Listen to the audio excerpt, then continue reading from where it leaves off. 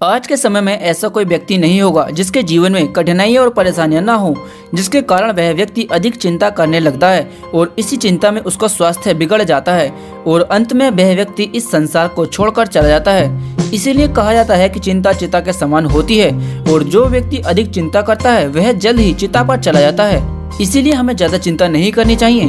हमें केवल उन्हीं परेशानियों के बारे में सोचना चाहिए जो ज़रूरी है। अनावश्यक चीज़ों के लिए हमें कभी भी परेशान नहीं होना चाहिए।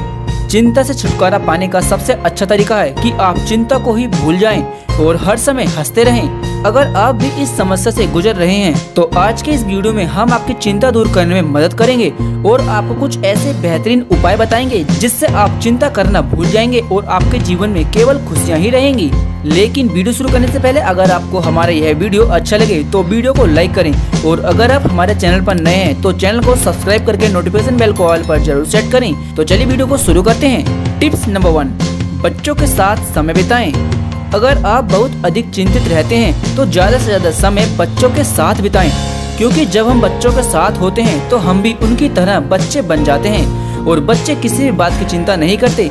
वह अपना बचपन जीते हैं। इसी ने जब भी आपको चिंता हो तो बच्चों के साथ समय बिताएँ। क्योंकि जब आप उनके साथ समय बिताएँगे तो आप भी उनकी तरह बच्चे बन जाएँगे और आप अपने सारे दुख और परेशानियाँ भूल जाएँगे।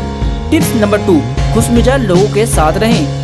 सभी लोगों के साथ रहें, अकेले रहना छोड़ दें। क्योंकि जब हम अकेले में रहते हैं तो हमारा दिमाग फालतू चीज़ें सोचने लगता है, जिससे हम और चिंतित हो जाते हैं।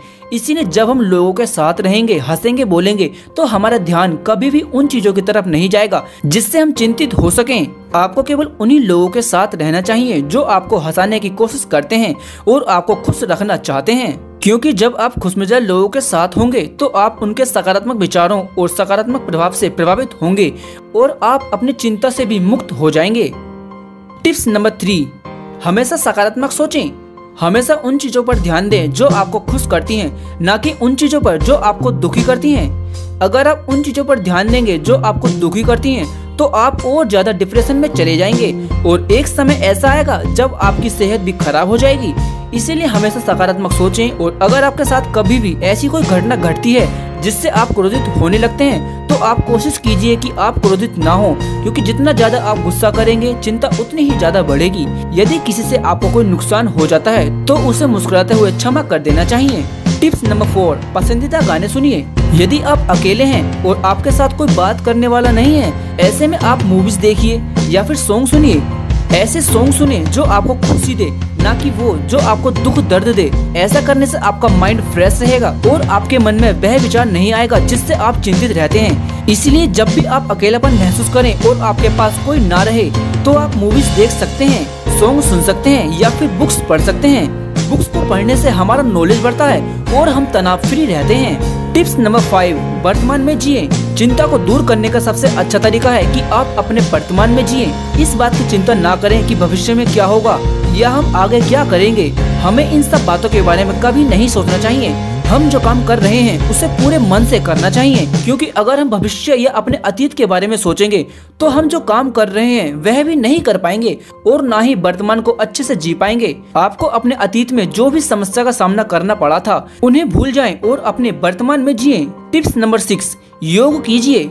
योग करने से हमारा मस्तिष्क केवल सकारात्मक विचारों को ही ग्रहण करता है और नकारात्मक विचारों से दूर रहता है। यदि हमारा मस्तिष्क केवल सकारात्मक विचारों को ही सोचता है तो हम चिंता मुक्त रहेंगे। इसीलिए जब भी आप समस्याओं से चिंतित हो तो एकांत वातावरण में चले जाएँ, योग करें और अपने विचारों में केवल सकारात्मक विचारों को लाएँ और नकारात्मक विचारों को भूल जाएँ। आप केवल उन चीज़ों पर ध्यान दें जो आपको खुशी देती हूँ। तो दोस्तों, आज की वीडियो में हमने आपको कुछ ऐसे बेहतरीन चिंता मुक्त उपाय बताए, जिन्हें आप अपनी रोज़मर्रा की ज़िंदगी में इस्तेमाल कर सकते हैं और तनाव मुक्त हो सकते हैं। इसके अलावा, अगर आपको भी लगता है कि आपके अलावा आपका कोई दोस्त या पड़ोसी आपकी तरह टेंशन से परेशान है तो आप हमारे इस वीडियो को उसे शेयर कर सकते हैं। क्या पता हमारे यह वीडियो देखकर आपका दोस्त भी टेंशन फ्री हो जाए। अगर आपको हमारे ये वीडियो पसंद आता है तो हमारे वीडियो को लाइक करें। और अगर आप हमारे चैनल पर नए हैं तो चैनल को सब्सक्राइब करके नोटिफिकेशन बेल को आल पर ज़रूर सेट करें। तो मिलते हैं नेक्स्ट वीडियो में, तब तक के लिए अपना ख्याल रखें। जय हिंद, जय भारत।